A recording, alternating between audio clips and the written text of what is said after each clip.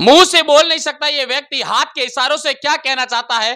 पहले इसे समझने की कोशिश कीजिए नहीं तो फिर हम बताते हैं कि ये क्या कहना चाहता है। आ, एक मिनट एक मिनट एक मिनट। क्या दिक्कत क्या थी और?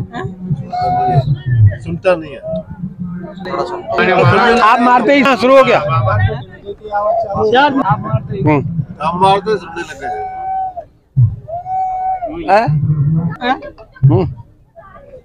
हम्म, आएगा? क्या किया? जोरदारी ठीक। यह युवक हमें बालोतरा के आसोतरा में काली कंबल वाले बाबा के वहाँ मिला और इसने हमें रोका और इसने हाथ के इशारों से बताया कि मैं यहाँ आया। मैंने चार दिन तक लगातार उस कुंड के फेरिया दी और उसके बाद बाबा जी के पास गया। तो बाबा जी ने मेरे कान के नीचे से एक नसू दबाकर और मुझे थप्पी मारकर हटा दिया और मैं कानों से सुनने लग गया। और अब मैं मुँह से बोल नहीं सकता और जल्द ही मैं मुँह से बोलने भी लगूँगा। तो आज के हाथ के इशारों से यह पता चल रहा है कि इसके कान पर किसी प्रकार का जो था, वो झाड़ा झपटा किया या जो कंबल थी, वो घुमाई या क्या था, वो पता नहीं। पर इसका कहने का यह अर्थ था कि ये पहले कानों से सुन नहीं सकता था, मुँह से बोल नहीं सकता था। पर मुँह से अब भी ये बोल नहीं सकता है, पर कानों से अब ये खुले अक्सर जो है, वो सुन पा रहा है। इसने कहा कि मैं अब कानों से ठीक तरह से सुन पा रहा हूँ।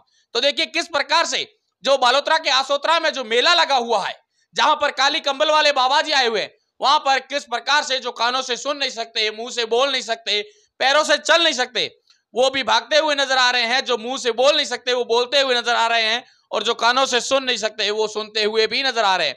इस वीडियो में मैं यही दिखाना चाह रहा था कि देखिए किस प्रकार से एक व्यक्ति जो खुद हमें रुकवाता है और कहता है कि मेरी कान के नीचे हिलाया और मुझे थापी देकर उठा दिया और कहा कि अब जा।